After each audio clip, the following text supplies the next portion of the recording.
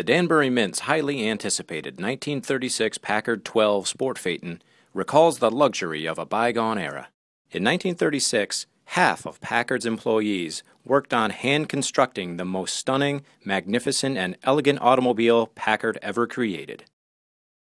Both sides of the Packard 12's impressive hood lift up to reveal the 473 cubic inch V12 engine. The gauges are fully legible behind a functioning steering wheel that actually turns the front wheels. The rear seat windshield folds down and the cowl tilts up for easy entry. You can open the trunk for storage and even fold down the rear luggage rack. The twin side mounted spares and four fully functional doors make this model a miniature masterpiece. Get the full details at danburymint.com forward slash Phaeton.